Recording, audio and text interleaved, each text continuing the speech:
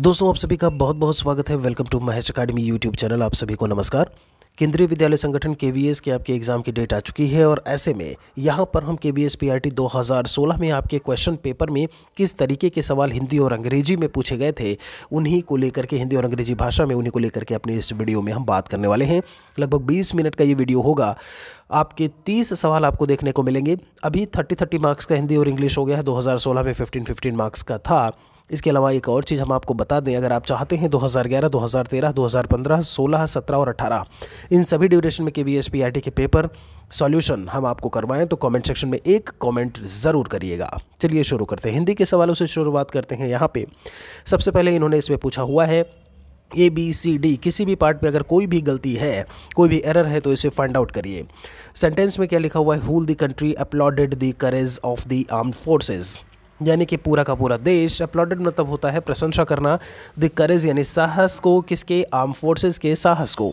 हम आपको बता दें होल दी कंट्री अपलॉडेड यहाँ पर अगर हम इस क्वेश्चन को लेकर के बात करें तो जो डिटरमाइनर की बात होती है, या फिर अगर हम डेफिनेट आर्टिकल की बात करें डेफिनेट आर्टिकल कौन से होते हैं? दी इनडेफिनेट की बात की जाए तो ए और एन को आप इनडेफिनेट आर्टिकल में रखते हो। यहाँ पर जो दी का प्रयोग होगा, वो होल से पहले होगा। कुछ इस तरीके से इन्होंने यहाँ पर एक्सप्लेनेशन दिया हुआ है। ईच एंड एवरी क्वेश्चन का एक्सप्लेनेशन आपको मिलेगा। ये कहते हैं होल दी के स्थान पर दी होल का प्रयोग होगा, क्योंकि डेफिनेट आर्टिकल दी का प्रयोग डिटरमाइनर के रूप में, वाक्य के शुरुआत में होती है। किसके रूप में? डिटरमाइनर के रूप में। तो जो करेक्ट सेंटेंस आपका हो जाएगा the whole country applauded the courage of the armed forces next question में आपसे पूछे हैं। कहते हैं, दी कस्टम. ध्यान दीजिएगा, the custom has been prevalent in India since im immemorial time. कहने का मतलब यह कस्टम रीति रिवाज जो हमारे हैं, वो पहले से ही चले आ रहे हैं। ऐसे में आप एक चीज़ देखेंगे आपने पढ़ा होगा कि निश्चित समय के लिए फॉर द डेफिनेट टाइम निश्चित समय के लिए वी यूज़ सिंस और वही इनडेफिनेट टाइम जब होता है, जब अनिश्चित समय होता है तो उसके लिए हम फॉर का प्रयोग करते हैं। यहाँ पर इम मेमोरियल टाइम तो बोला है, लेकिन कब से बोला हुआ है ये नहीं पता। यानी कि समय हमारा अनिश्चित है, यानी इनडेफिनिट है तो ऐसे में हम सेंस की जगह किसका प्रयोग करेंगे? फॉर का प्रयोग करेंगे। यानी जो आपका आंसर हो जाएगा वो डी ऑप्शन हो जाएगा। बिल्कुल वही चीज़ यहाँ पर एक्सप्लेनेशन में आपको बताई हुई है, जो आप यहाँ से पढ़ पा रहे होंगे। एक अगले क्वेश्चन पर आपको लेकर के चलते हैं। थर्ड क्वेश्चन में आपसे कह रहे हैं the climate of Pune is more pleasant than Delhi यानी कि जो पुणे का क्लाइमेट है, वो बहुत ही अच्छा है प्लीजेंट है। दिल्ली के मुकाबले। यहाँ पर हम आपको बता दें क्लाइमेट जलवायु को लेकर के बात की हुई है जब हम दो सिटीज़ को कंपेयर करते हैं। ध्यान रखिएगा जब दोनों शहरों के बीच की बात हो तब ऐसे में आप वहाँ पर दैन का यूज़ करते हैं। बहुत अच्छे से ध्यान से सुनिएगा तब आप दैन का यूज़ करेंगे लेकिन यहाँ पर दोनों सिटीज़ के एट, क्लाइमेट एटमॉस्फेयर को लेकर के बात की गई है और इस केस में यहाँ पर दैन दैट ऑफ़ का प्रयोग होगा। किसका होगा? दैन की जगह दैन दैट ऑफ़ का प्रयोग होगा जो यहाँ पर एक्सप्लेनेशन में आपके लिए दिया हुआ है। आगे लेकर के आपको चलते हैं। करेक्ट सेंटेंस भी बता दिया। Four and five number question में कहते हैं each group of words choose the one can be substitute for the given definition यहाँ पर इन्होंने कहा वन वर्ड प्रकार का। आपने पढ़ा होगा one word substitution introductory part of a literary work किसी भी साहित्यिक कार्य का जो इंट्रोडक्टरी पार्ट होता है, उसे हम किस नाम से जानते हैं? क्या उसे हम इंट्रोडक्शन बोलते हैं? क्या प्रीफेस बोलते हैं? यहाँ पर प्रीलिमिनरी लिखा हुआ है और प्रोलॉग लिखा हुआ है। प्रीफेस का क्या मतलब होता है? आमुख प्रस्तावना। बात कर लेते हैं। प्रियम्बल को हम लोग क्या बोलते हैं? आमुख या प्रस्तावना। क्या बोलते हैं? आमुख या प्रस्तावना। तो जब हम इस फोर नंबर क्वेश्चन की बात करते हैं तो ज़रा गौर करिएगा। डी ऑप्शन में प्रोलॉग आपका ऑप्शन देखने को मिलेगा। प्रोलॉग का मतलब प्रस्तावना होता है, प्रियम्बल का मतलब प्रस्तावना होता है, वहीं इंट्रोडक्शन का मतलब परिचय प्रीफेस का मतलब भूमिका, और यहाँ पर प्रीलिमिनरी का मतलब होता है प्रारंभिक। उम्मीद करते हैं यहाँ पर सभी क्वेश्चन आप सभी ऑप्शंस के आपको मतलब भी समझ में आ गए होंगे आंसर के साथ में। एक अगले क्वेश्चन पर आपको लेकर के चलते हैं। इन्होंने बोला वन वर्ड में आपसे क्वेश्चन पूछ रहे हैं। A person who abstains completely from alcoholic drink मतलब एल्कोहलिक ड्रिंक से पूरी तरीके से एब्सटेंस मतलब दूर रहना, उसे हम वो एक वर्ड में क्या बोलेंगे? एसेटिक करके लिखा हुआ है यहाँ पर एब्सटेनर लिखा हुआ है टी टोटलर लिखा हुआ है और सेंट बोला हुआ है। इसे हम टी टोटलर बोलते हैं। टी टोटलर को हिंदी में क्या कहते हैं? महात्यागी। आप ऑप्शन में देख पा रहे होंगे। आंसर आपका सी होगा। महात्यागी। एक अगले क्वेश्चन पर माफ़ी चाहेंगे। यहाँ तब तक आप इसका मतलब भी जान लीजिए। एसेटिक का मतलब तपस्वी होता है, एब्स्ट्रेनर का मतलब होता है परहेजगार, और सेंट का मतलब होता है संत। सिक्स और सेवन नंबर क्वेश्चन में आपसे क्या कह रहे हैं? Group of words which follow each. अब देखिए अपोजिट इन मीनिंग आपसे यहाँ पर अपोजिट पूछा हुआ है, यानी कि एंटोनिम्स की बात की हुई है, और क्वेश्चन आपके स्क्रीन पर है। Religion teaches us not to run after the transient pleasure of the world हमें रिलीजन या धर्म पढ़ाता है, हमें ये बताता है नॉट टू रन आफ्टर किसके बाद नहीं ट्रांजिएंट प्लेजर यानी कि इस ट्रांजिएंट प्लेजर के बाद हमें नहीं दौड़ना है, नहीं जाना है इस दुनिया के, या इस दुनिया में जो भी चीज़ें हैं। तो आखिर इस ट्रांजिएंट या ट्रांजिएंट का अपोजिट हमें क्या देखने को मिलेगा? अनएथिकल परमानेंट सिंफुल और अननेचुरल लिखा हुआ है। हम आपको बता दें ट्रांजिएंट प्लेजर होता है जो एक मोमेंट्री प्रकार का होता है। मोमेंट्री का मतलब क्षणिक होता है। वहीं परमानेंट इसका जो है वो क्या हो जाएगा? अपोजिट हो जाएगा। जो आपका करेक्ट आंसर यहाँ से देखने को मिलेगा, वो बी हो जाएगा। इसमें अनएथिकल का मतलब अनैतिक होता है। सिनफुल का मतलब होता है पापी। अननेचुरल का मतलब होता है कृत्रिम। सेवन नंबर क्वेश्चन में क्या कहते हैं आपसे? There has been there has always been a feeling of rancour between the two leaders यहाँ पर there has always been a feeling उनके बीच में हमेशा एक फीलिंग एक भाव रहता है। दो नेताओं के बीच में कैसा भाव? रैनकर का। अब ये आपको बताना है क्या कि रैनकर का आपका ऑपोजिट जो है आपको क्या देखने को मिलेगा? क्या ये शत्रुता होता है इसका मतलब? जब हम यहाँ से बात करते हैं रैनकर को लेकर के तो इसका मतलब होता है शत्रुता। इसका जस्ट ऑपोजिट आपका फ्रेंडलीनेस हो जाएगा, यानी ऑप्शन नंबर डी सस्पिशियन का मतलब होता है संदेह कॉम्पिटिशन का प्रतियोगिता है, और राइवरली का मतलब होता है विरोध या प्रतिस्पर्धा। आठ नौ नंबर क्वेश्चन में आपसे कहे हैं choose the one which best express its meaning यहाँ पर आपको ईडीएम और फ्रेजेस के क्वेश्चंस हैं तो आ रेड लेटर डे का क्या मतलब होता है? आपने जवाहरलाल नेहरू जी के बारे में सुना होगा। या जब भारत आज़ाद हुआ था 15 अगस्त उन्नीस सौ सैंतालीस को तो क्या वो खुशी का दिन था? अ हैप्पी डे तो आ रेड लेटर डे का मतलब होता है a day memorable for some joyful event जो फ़र्स्ट ऑप्शन लिखा हुआ है, वही आपका आंसर हो जाएगा। तो इसे हम महत्वपूर्ण दिन बोलते हैं ईडीएम ईडीएम यानी कि जो रेड रिलेटेड डे है, उसका मतलब क्या हो जाएगा? A day memorable for some joyful event आगे आपको लेकर के चलते हैं अगले क्वेश्चन पर। इन्होंने कहा to show the white feather क्या? To show the white feather कहते हैं, दिखा दिए ना तुम अपना रूप? बिल्कुल वैसे ही to show the white feather to act gracefully to assume airs करके लिखा है to be fashionable to show signs of cowardice यानी कि कायरता का साइन या चिन्ह दिखाना। उसी को बोलते हैं to show the white feather आपका जो ऑप्शन हो जाएगा, यहाँ से वो आंसर डी हो जाएगा, एक अगले क्वेश्चन पर लेकर के चलते हैं। टेन इलेवन में दस और ग्यारह में आपको क्या करना है? फिल इन द ब्लैंक्स दिया हुआ है, उसे आपको फिल करना है। और यहाँ पर जो क्वेश्चन है, वो आपसे क्या पूछा है? ही नेवर टेक्स साइड्स वो कभी भी किसी का साइड नहीं लेता एंड ऑलवेज रिमेन्स जो किसी का साइड नहीं लेता, वो हमेशा क्या रहता है? कैसे रहता है? इम्पार्शियल इम्पार्शियल मतलब पार्शियली काम करना। आप किसी पक्ष को लेकर के काम कर रहे हो। इम्पार्शियल मतलब आप किसी भी पक्ष को लेकर के नहीं काम कर रहे हो, यानी कि निष्पक्ष तरीके से काम कर रहे हो। तो दस नंबर क्वेश्चन में हमारा आंसर क्या हो जाएगा? पहला हो जाएगा अनबायस्ड का क्या मतलब होता है? अनबायस्ड का मतलब निराधार होता है। प्रिजुडाइज्ड का मतलब पक्षपातपूर्ण होता है। और कैंडिड का मतलब निष्कपट होता है। एक अगले क्वेश्चन में आपसे फिल इन द ब्लैंक्स में देखिए, पूछे he is generally afraid of afraid as he lives in the world of वो अक्सर डरता है। वो अक्सर डरा हुआ रहता है क्योंकि वो किस दुनिया में रह रहा है? Hallucination allusions illusions conclusions illusion मतलब होता है भ्रम की दुनिया में। ध्यान से समझिएगा, जो ऑप्शन नंबर सी लिखा हुआ है, उसका मतलब होता है भ्रम की दुनिया में। यहाँ पर भ्रम या छल की दुनिया में बिल्कुल सही है तो वो छल या भ्रम की दुनिया में रहता है, इसलिए वो अक्सर जो है डरा हुआ रहता है। बाकी ऑप्शंस की बात करें हेलुसिनेशन का मतलब होता है माया एल्यूशंस का मतलब संकेत या इशारा होता है कंक्लूजन्स का मतलब जो है वो क्या होता है? निष्कर्ष। बारह और तेरह नंबर क्वेश्चन की बात कर लेते हैं। आपसे यहाँ पर पूछा हुआ है बेस्ट एक्सप्रेस यानी कि सिनोनिम की बात की है। किसकी बात की? सिनोनिम की। The film began with an eerie scene double E R I E आखिर इस ईरी का मतलब क्या होता है?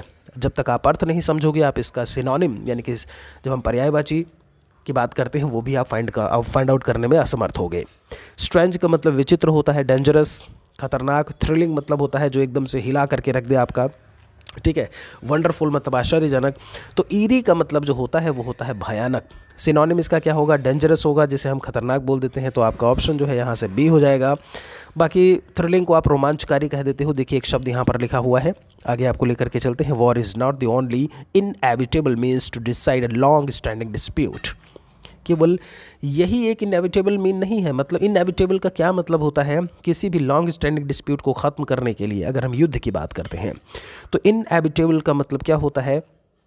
इम्प्रोबेबल इनडेफिनिट अनअवॉइडेबल एक अनअवॉइडेबल शब्द लिखा हुआ है। इसका मतलब होता है अपरिहार्य।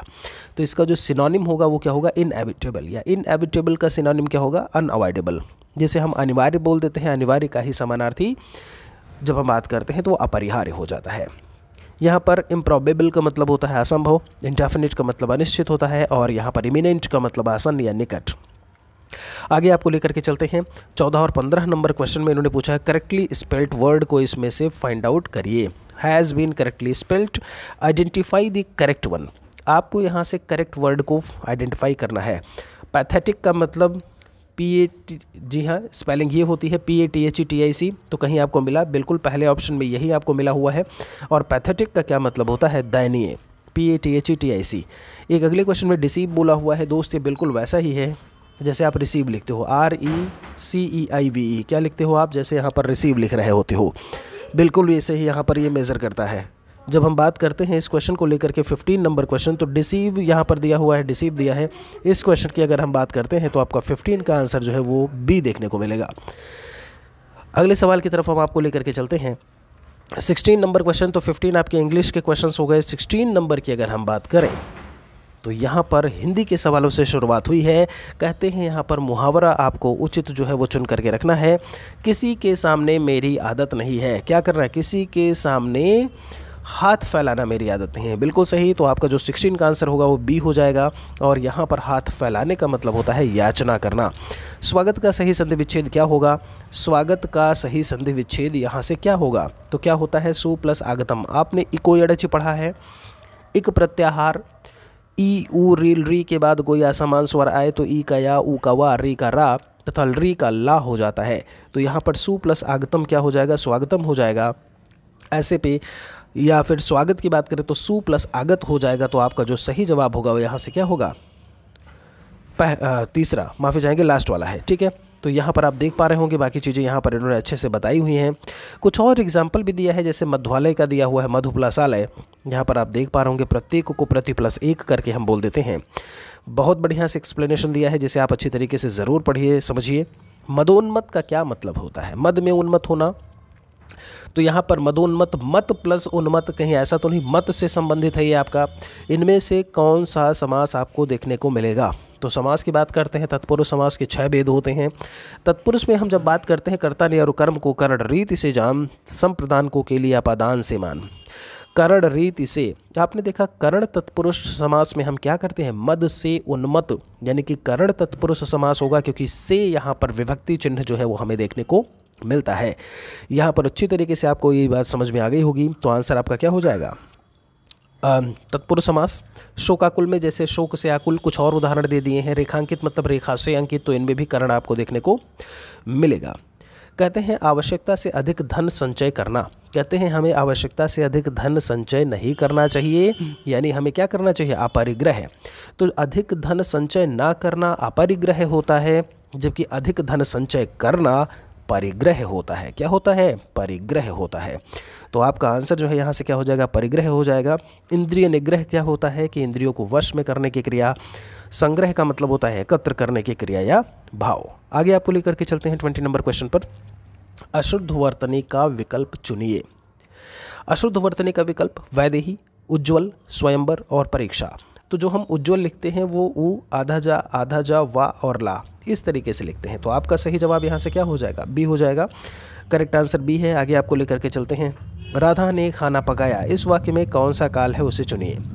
राधा ने खाना पकाया। सामान्य भूतकाल आपसे बोला हुआ, सामान्य भूत बोला हुआ है। भूतकाल नहीं, सामान्य भूत है। ये आपका अपूर्ण भूत है यहाँ पर। पूर्ण भूत है या फिर संदिग्ध भूत होगा। तो आपने देखा खाना पकाया, लेकिन हमें समय नहीं पता। हमें यहाँ पर टाइम नहीं पता कि वो खाना कब पकाया गया है। यहाँ पर जब हम इस क्वेश्चन की बात करते हैं तो सामान्य भूतकाल हमें देखने को मिलेगा। कहते हैं, सामान्य भूतकाल वो भूतकाल होता है जिससे भूतकाल की क्रिया के विशेष समय का ज्ञान हमें देखने को ना मिले। ध्यान दीजिएगा तो यहाँ पर क्रिया के विशेष समय का ज्ञान, काम कब किया गया, खाना कब पकाया गया, हमें नहीं पता। और इस सेंस में हमारा जो है वो सामान्य भूतकाल हमें देखने को मिलेगा। आगे चलते हैं, जैसे यहाँ पर कुछ और एग्ज़ाम्पल दिए हैं, जैसे सोहन आया, कब आया, नहीं पता, मीना गई, कब गई, नहीं पता। आगे आपको लेकर के चलते हैं 22 नंबर क्वेश्चन में कहते हैं, बिल्ली छत पर बैठी है। इसमें आपसे कारक पूछा हुआ है, संबोधन कारक है, कर्ता कारक है अपादान कारक है, अधिकरण कारक है। तो आप कहते हो कि पेड़ से पत्ते गिरते हैं, हिमालय गंगा से निकलती है, बिल्ली छत पर बैठी है ठीक है? तो गंगा से निकलती है, पेड़ से पत्ते गिरते हैं तो वो अपादान वाले की बात हो गई। यहाँ पर कहते हैं, मे पर अधिकरण में मान अगर आपको याद हो, कहते हो, मे पर अधिकरण विमान। कर्ता ने कर्म को कर्ण रीति से जान, संप्रदान को के लिए अपादान से मान, और फिर काकी के, मे पर अधिकरण में मान काकी के संबंध है, मित्र धरा हुआ ध्यान। ये पंक्तियाँ हैं कुछ जो आपको पता होनी चाहिए। तो आप में और पर जो पहचान चिन्ह है, वो अधिकरण कारक के हैं तो आपका सही जवाब यहाँ से क्या हो जाएगा? अधिकरण कारक कुछ और बात यहाँ पर बोली हुई है, क्रिया या आधार को सूचित करने वाली संज्ञा या सर्वनाम के स्वरूप को हम अधिकरण कारक कहते हैं, जैसे दुकान पर कोई नहीं था। तो यहाँ पे क्या हो जाएगा? अधिकरण। दो निर्दिष्ट अक्षरों के पास पास आने के कारण उनके मेल से जो विकार होता है। तो आपने देखा सु प्लस आगतम, अभी मैंने बताया सु प्लस आगत। यानी महा प्लस ईस्ट महेश होता है आपका। आपने देखा गुड़ संधि आपको मिली। तो आपने देखा, जब हम सु प्लस आगत की बात करते हैं, सु तो एक ये वर्ड हो गया और एक ये हो गया। इन्हीं में परिवर्तन हुआ। क्या अक्षरों में परिवर्तन हुआ? बिल्कुल हुआ। और ये क्या कहलाता है? ये आपका संधि कहलाता है। संधि का मतलब ही होता है जोड़। संधि के तीन प्रकार होते हैं। स्वर संधि, व्यंजन संधि, विसर्ग संधि। हिंदी भाषा में स्वर संधि के पाँच भेद हैं। वहीं संस्कृत भाषा में आठ भेद आपको देखने को मिलेंगे। आगे आपको लेकर के चल रहे हैं। पतंग उड़ रही है, इसमें उड़ रही क्रिया जो है वो किस प्रकार की है? साकर्मक है, आकर्मक है? आपसे समापिका करके लिखा है या प्रेरणार्थक क्रिया। चिड़िया उड़ रही है। चिड़िया का काम ही उड़ना। यहाँ पर अकर्मक क्रिया प्रकार का, यानी थोड़ा डिटेल में पढ़ते हैं। कहते हैं, इस वाक्य में उड़ रही अकर्मक क्रिया है। जिन क्रियाओं का व्यापार और फल कर्ता पर हो, वह अकर्मक कहलाते हैं। कहते हैं, आकर्मक जहाँ कर्म नहीं होता है, साकर्मक मतलब कर्म होता है। जैसे चिड़िया उड़ रही है। इस वाक्य में चिड़िया जो है, करता है और उड़ने का कार्य उसी के द्वारा पूरा हो रहा है। तो उड़ रही क्या हो जाएगा? अकर्मक क्रिया के रूप में हमें देखने को मिलेगा। ट्वेंटी फाइव में आपसे क्या कहते हैं? पहाड़ का इनमें से कौन सा पर्यायवाची आपका नहीं होगा? शायल का मतलब पर्वत, पत्थर शायल का मतलब पत्थर होता है। पत्थरों से ही पहाड़ बनता है, यानी ये होगा। अचल मतलब जो चले ना, जो स्थिर रहे, पहाड़ बिल्कुल सही है, ये भी होगा। आपसे कहते भूधर, यानी कि पृथ्वी पर जो धरा हुआ है, जो रखा हुआ है, वो भी होगा। बात आती है कि आखिर शैलजा का क्या मतलब है।